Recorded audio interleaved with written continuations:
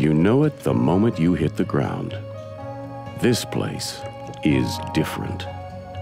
Not like anywhere you've been before. You can sense it in the air and feel it on the prairie wind.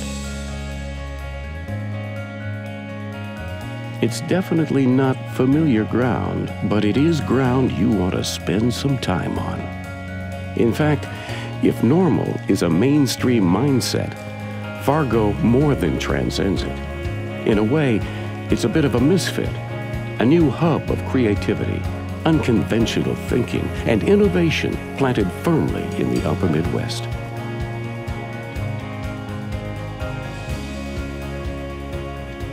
You'll find an adventurous, pioneering spirit alive and well in Fargo, born of a genuine, fierce independence and quiet strength. Our highly energetic Midwestern gregariousness inspires and propels the city forward. Ingenuity and a down to earth practicality come together here to capture today's true prairie soul.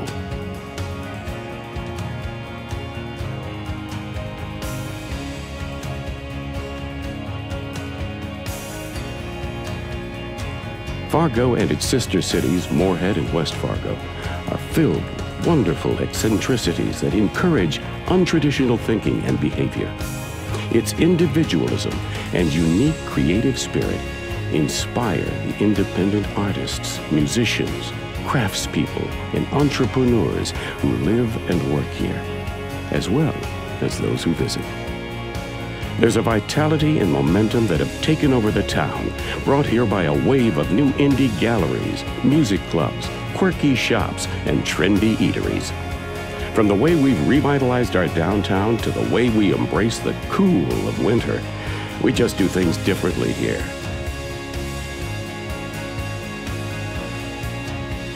So grab your friends, bring your spirit of adventure, and maybe some mittens, and head north.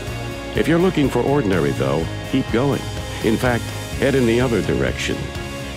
But if you're looking for extraordinary, we welcome you to come visit for an unforgettable experience. Come up where it's cooler, because Fargo's north, north of normal.